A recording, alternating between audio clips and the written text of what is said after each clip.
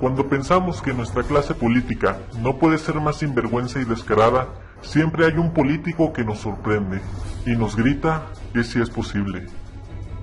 El primer caso es de Margarita Zavala, la Calderón, que se aprovechó del gasolinazo para criticar a Peña Nieto e intentar posicionarse a una candidatura presidencial, siendo que su esposo Felipe Calderón aumentó 70% el costo de la gasolina. Y aún así tiene el descaro de decir que quiere ser presidenta. En la cárcel debería de estar esta señora junto con el asesino de su esposo, que debo recordar que en el tiempo que estuvo de presidente fue la peor crisis de seguridad que ha habido en el país. En este video no hablaré tanto de ella, de quien voy a hablar es de quien se sacó el premio Nobel de la mentira y la hipocresía. Su nombre es Ricardo Anaya, quien es precisamente el presidente nacional del PAN.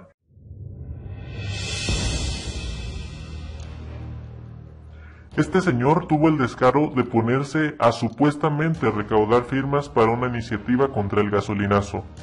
Mandó hacer un módulo bien rotulado con el logotipo del PAN, así bien grande, que decía, no al aumento de las gasolinas. Y contrataron a un fotógrafo para que les tomara fotos mientras algunos ilusos firmaban sus formatos, que estoy seguro que no van a servir para nada más que para tirarlos a la basura. Y curiosamente, iban pasando por allí algunos periodistas de la prensa de derecha, quienes les hicieron una serie de artículos al respecto, en muchos importantes periódicos nacionales. Y ¡pum! De la noche a la mañana, Anaya es el activista que ve por el pueblo y ve en contra de los abusos de Peña Nieto. Y el PAN es el partido del pueblo que defiende el precio de la gasolina y por arte de magia, Anaya es un héroe. Ahora ya hablando en serio, quisiera hacerles una pregunta a Ricardo Anaya, a Margarita Zavala y a todos los panistas, perredistas y priistas que están supuestamente en contra del gasolinazo. La pregunta es esta. ¿Qué significan para ustedes estos números? A ver, en verdad quiero que un priista, un panista o un perredista me explique qué significan estos números. Yo les voy a explicar estos números. Son los diputados que votaron a favor del gasolinazo, que dice claramente que fueron 193 diputados del PRI, 102 diputados del PAN y 42 diputados del PRD los que votaron a favor del gasolinazo. Y lo más impresionante, que el PRI y el PAN no tuvo ningún voto en contra. En el PRD hubo 8 votos en contra.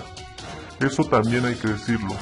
Pero sin duda uno de los responsables del gasolinazo es este señor Ricardo Anaya. Porque él es el líder y jefe directo de los diputados del PAN y él dio la orden a todos sus diputados que votaran a favor del gasolinazo. Y todos los diputados del PAN, bola de vendidos y traidores a la patria, como ovejitas, votaron a favor. No hubo ni un solo voto en contra.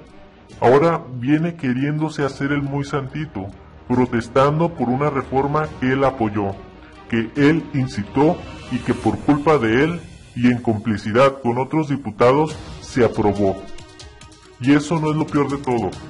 Lo peor de todo es que este señor también quiere ser presidente de la República y competirá internamente con Margarita Zavala por una candidatura del PAN. Y esta supuesta recaudación de firmas es parte de la estrategia para su pre-campaña. En verdad, se me hace el colmo del cinismo lo que están haciendo estos señores. No tienen vergüenza. Piensan que los mexicanos son unos idiotas el único partido, a mi parecer, que tiene la autoridad moral para protestar en contra del gasolinazo es Morena. Porque los 35 diputados de Morena votaron unánimemente en contra de esta reforma. Y fueron los únicos que no se vendieron como toda la demás bola de diputados y senadores que siguen órdenes de sus respectivos líderes.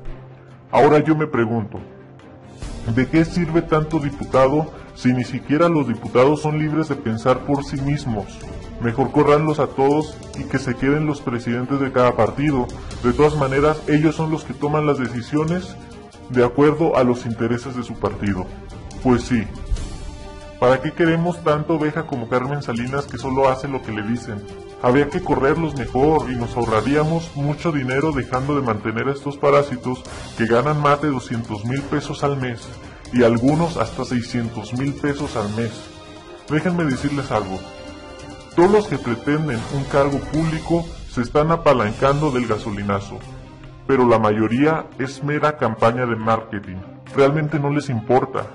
Los tres principales partidos políticos de México saben que su típico discursito político ni la imagen de su partido no les será suficiente para ganarle a López Obrador, que sin duda les lleva mucha ventaja.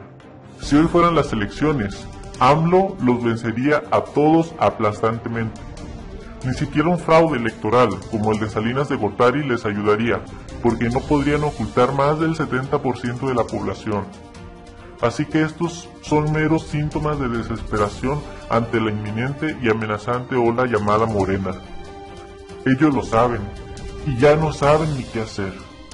Sus candidatos están quemados, ya la gente no es tonta, ya no van a votar por ellos. Te voy a anticipar cuáles serán las estrategias del PRI del PAN y del PRD en cara al 2018. La del PRI es comprar votos. Desde hoy están franqueando dinero para comprar a los electores como lo hicieron en las elecciones pasadas con Enrique Peña Nieto. Hay videos en YouTube donde se da a conocer cómo compraban los votos y organizaban a la gente. El PRI sabe que está frito, que Peña Nieto cavó la tumba para su partido, así que lo único que les queda es la tranza. El PAN intentará verse como la única alternativa.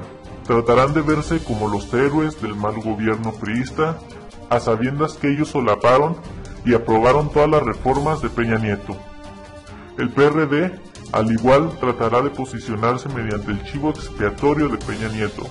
Quiero decir, de estos tres partidos, ninguno tiene un candidato seguro para el 2018 se van a sacar de la manga al que aparente más popularidad y ese es al que van a apoyar.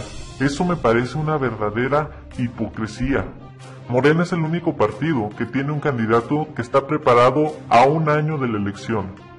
Mientras los otros partidos se pelean internamente para ganar la candidatura, en Morena ya tienen un sistema de trabajo y de gobiernos preparados y no van a improvisar nada. Mientras otros partidos solo se están limitando a echar pedradas y apalancarse de la crisis del país, AMLO ya tiene propuestas y soluciones para los problemas de la nación. Realmente no quiero asegurar que AMLO es perfecto, pero sin duda es la mejor opción que tenemos ahorita en estos momentos. Noroña también es un buen candidato. Me gusta su forma de pensar, pero solo no va a lograr nada en la Cámara de Diputados. Recordemos que para que se aprueben las leyes, no solo el presidente debe ser bueno, sino también los diputados, quienes con sus votos son los encargados de aprobar todas las propuestas de ley. Así que es vital llenar la Cámara de Diputados con buenos representantes.